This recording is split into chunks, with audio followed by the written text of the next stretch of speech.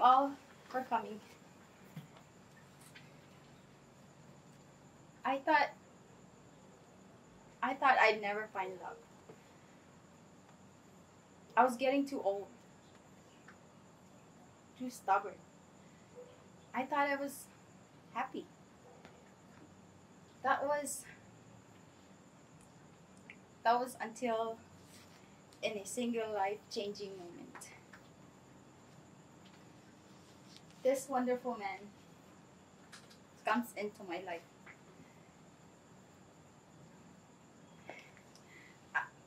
I, I was. I I am blessed with a big, beautiful family. Who are here today? My big brother, Leo, with his wife, Vivian. My niece, Kira. And my baby sister, Erica.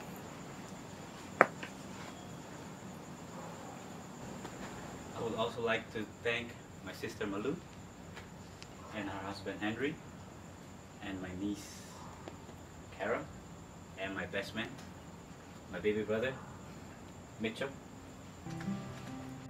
But during a time of great loss, I found love. I found my true love. Family, no? Family is what brought us all together.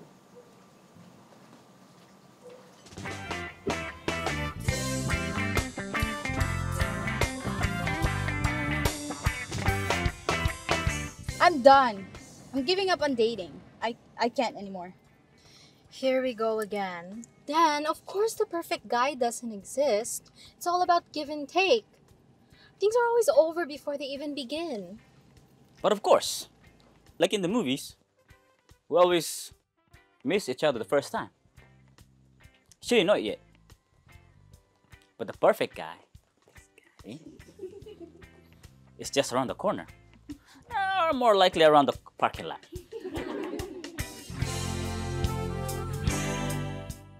You see, Mitch, dating is not just about give and take. Compromise is important, but also being present. Really listening, you know? The ladies love that. And action. Don't forget action. Are you even listening? Yeah, yeah, active listening.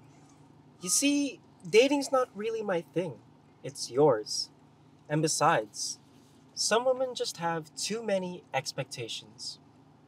Is it too much to ask for the basic manners?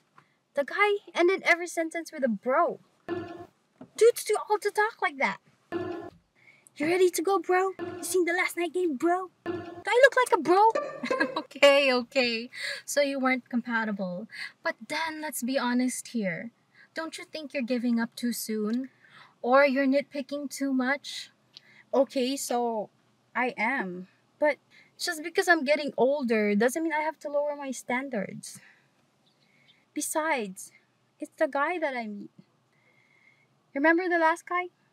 He kept walking faster than me, and I'm only five feet. I asked him to slow down, but he would for like three minutes. Then he would go walk fast again. Oh, see, that's what I mean. Trust me, Erica, that's only the tip of the iceberg.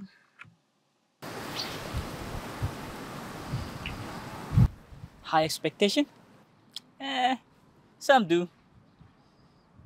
But dating is not as bad as you think. You might not be into it yet, but you gotta be ready. Oh, yeah? If it's not so bad, why haven't you found anyone yet? The right one hasn't arrived yet. Hi, good afternoon. You must be Kira's grandparents. I'm Jacob Rivera, her uncle. Very nice meeting you, Jacob. Pretty handsome.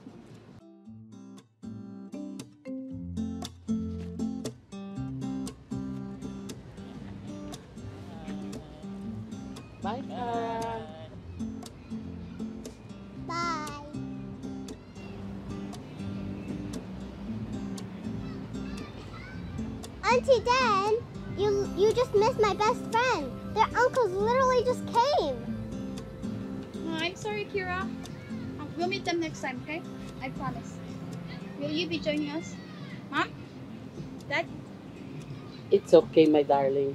I know you think dating's a pain, but you shouldn't give up just yet. You never know. Maybe the one could be just around the corner.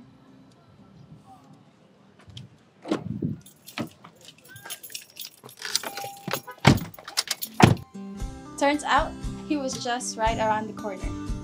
But looking back, I still love how we finally met. Oh yeah, if I remember correctly, I took your breath away.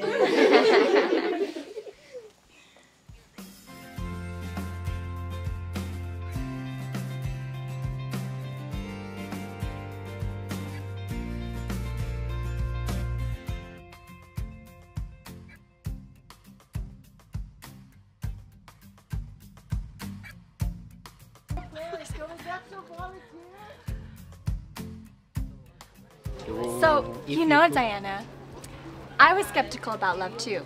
But when the right one comes along, you just know.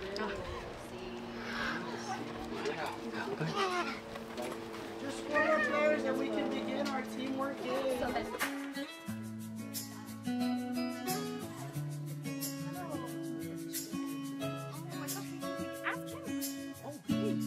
Oh, uh, can you participate for our last game? We just need four more players and we're good. All right, okay. Who would like to partner up with Brother Mitchell? I don't mind.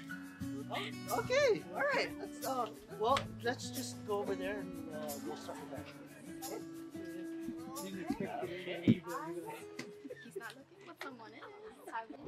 Diana, my darling, life is too short for us not to take risks. Everything could change in a single moment. All right, we have our third player. We just need one more player and we will begin. How about you, sister?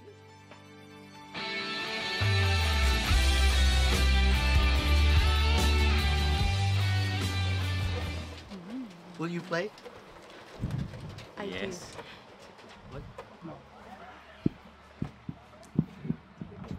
I meant, I meant sure, yeah, yeah, Sure. yeah. I'll play. Okay. All right. Well, just head your way over there and we will start.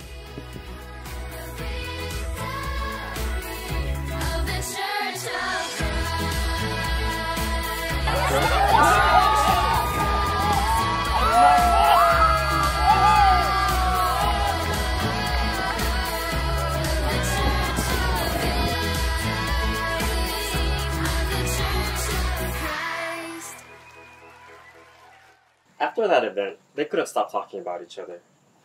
But I think Den was still too embarrassed. She practically sprinted away when they won.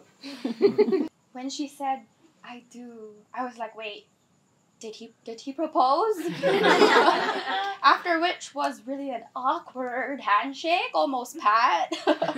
You know, as the older brother, you can't help the feeling of being always overprotective. But if I'm being honest, then you've always been able to take care of yourself. I do have one advice for you guys when you start this marriage journey, and it's something me and Vivian practice every day, and that's communication and understanding. There are good times and bad. You share it all. but I'm like my brother in that we're both romantics. Actually, he's more of a romantic than I am because without him, I wouldn't have found Henry. Um, and aside from romance, he's helped me to find um, confidence and stability. Whether it was my education, my career, especially faith, um, I wouldn't be where I am today without him, without his guidance, especially because he's practically had to raise us.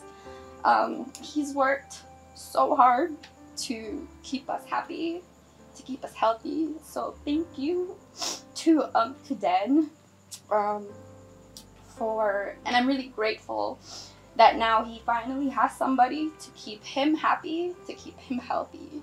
So thank you so much for coming into our lives. So hopefully, we, we stick it out fight through it, whatever problems come your way. Just let love live.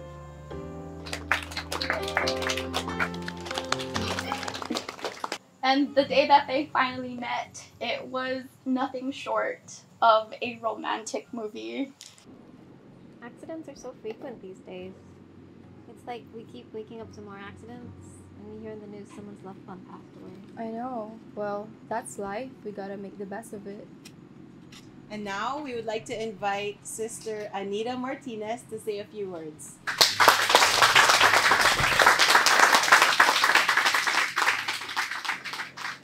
Thanks, Ta. Thank you, everyone. Wow. 35 years? Time flies so fast. You know, apart from the look on my patients, nothing makes me happy than my husband that picks me up from work every day. And on Fridays are extra special because he brings flowers.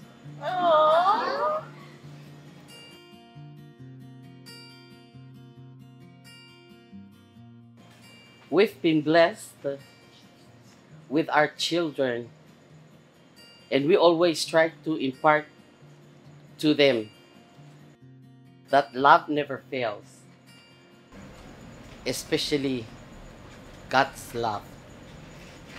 To my loving husband, Dwayne, thank you for the support for 35 years.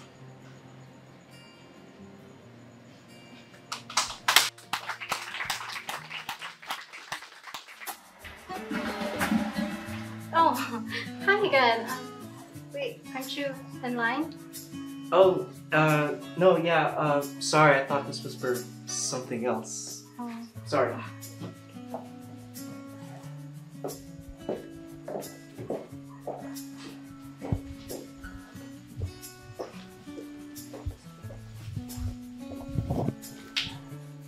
What are the chances my Auntie Den and your Uncle Jake meet again? Ooh, it's possible. We all arrived at the same time. But I don't see where he went.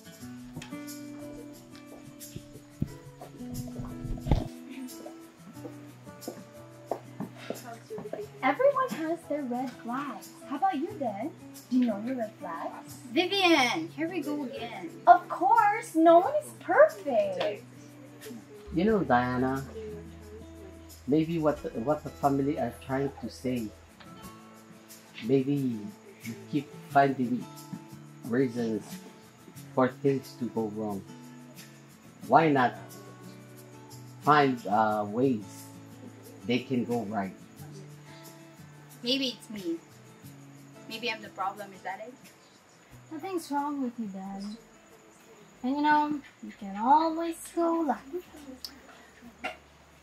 Okay, laugh, but that's actually helpful because I've been needing to go for a while. So laugh. Yes.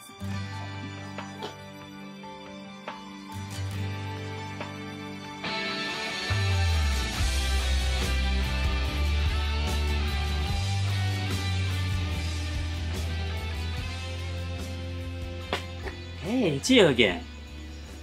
I didn't get the chance to say this, but you run away so fast. I think we make a good team. Oh, oh. I was there, behind Sister Anita and Brother Dwayne, to hear her timeless and eternal advice, which actually gave me the courage I needed myself.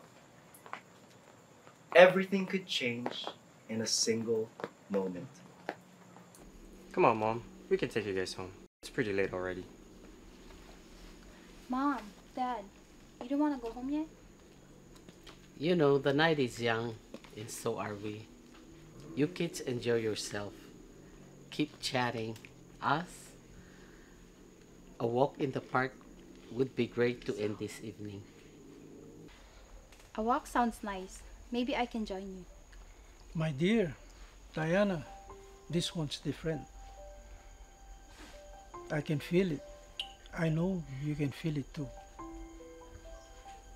Remember this always. Love takes time. Great love needs a leap of faith, and true love endures forever.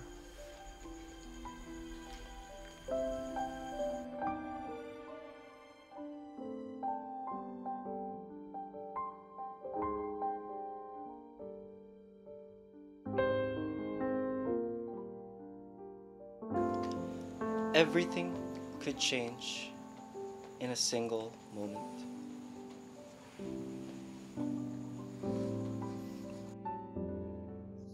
Earlier this evening, a male and female in their late 50s have been identified in a car crash. This is an ongoing case, making this this week's seventh car-related incident.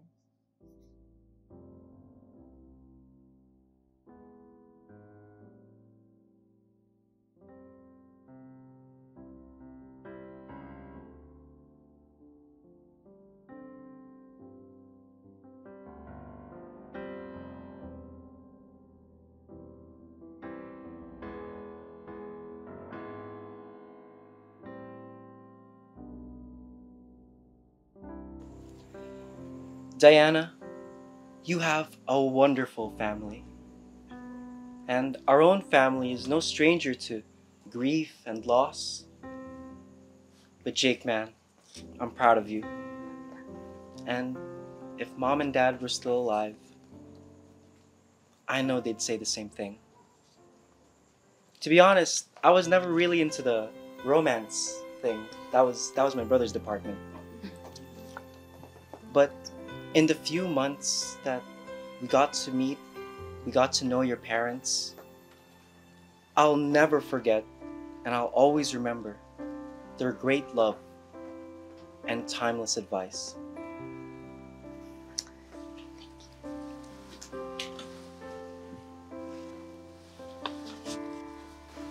At a time when it felt like our hearts would stay broken forever, I felt like it was your love that helped us heal. Then, what our mom taught us was right. Love never fails, and love always endures. If only our mom could be here to see how beautiful and radiant you look in a wedding gown.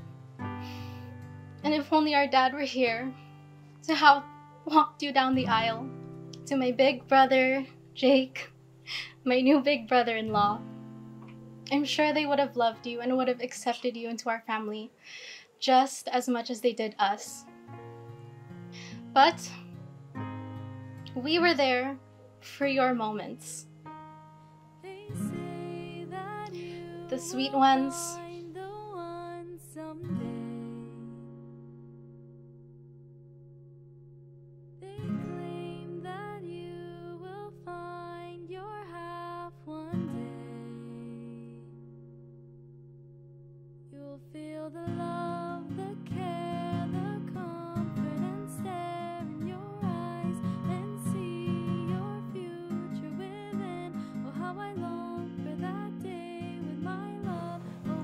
Oh,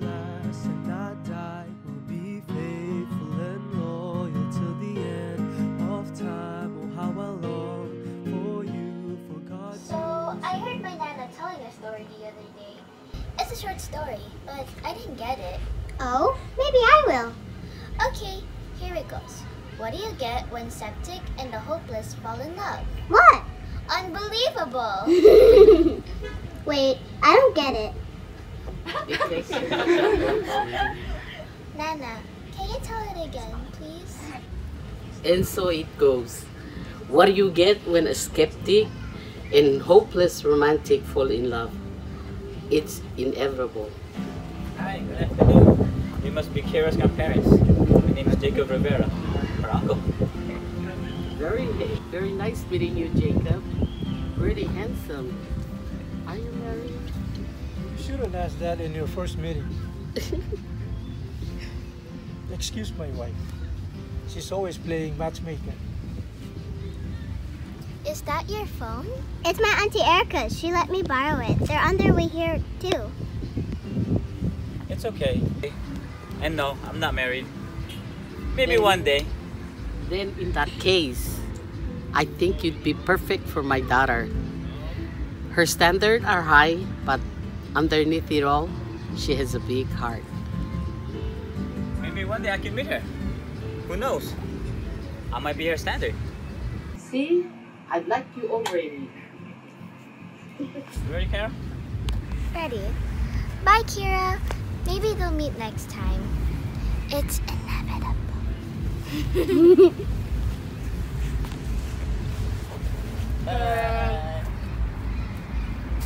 Bye. Auntie Den, you you just missed my best friend. Their uncles literally just came.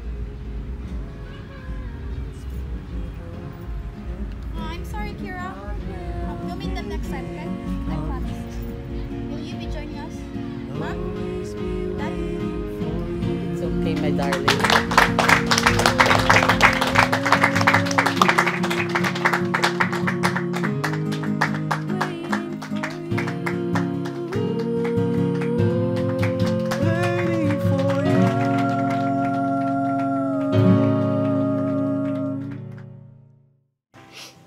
Believe God sent you to me. Knowing I would face heartbreak. And in his perfect timing, you would you would put it back together again.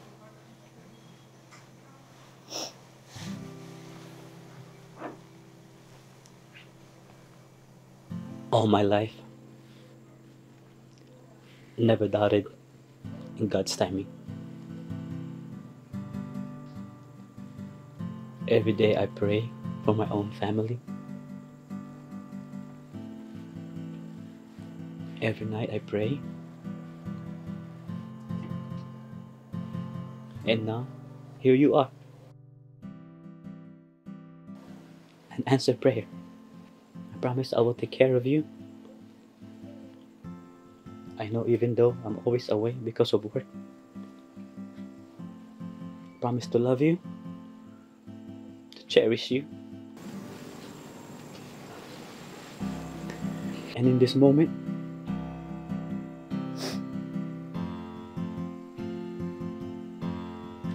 I promise you that I will love you now to forever.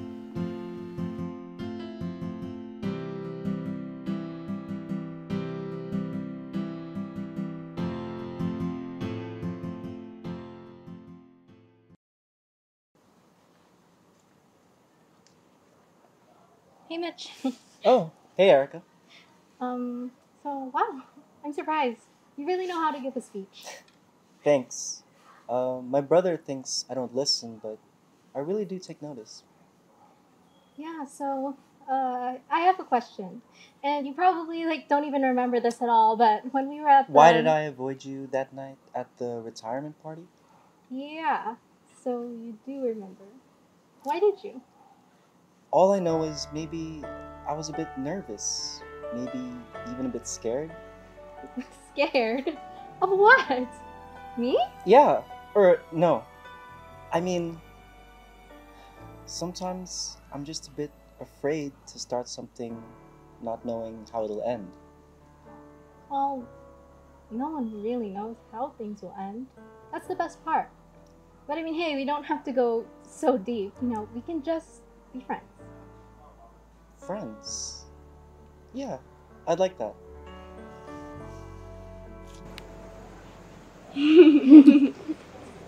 It's inevitable.